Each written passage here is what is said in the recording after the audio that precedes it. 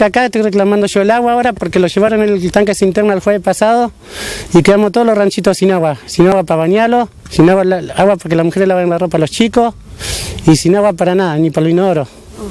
¿Cuánto, ¿Cuánto tiempo hace desde el jueves pasado? El jueves pasado, que usted me hizo la nota, vino Canal 6 me hizo la nota a mí, yo fui al corralón, reclamé la tierra que estamos pidiendo para la calle y el agua y se enojaron, me dijeron porque salió el tanque de la municipalidad con el nombre de la municipalidad, se llevaron el...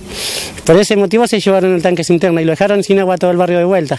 ¿Cuántas familias están viviendo acá en el barrio? Y 30 familias. 30, familias. Ajá.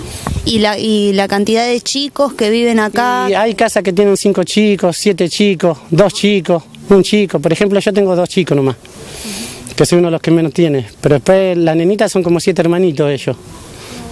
Ocho, ocho hermanitos me dice la nenita ahí, me confirma, ocho hermanitos son.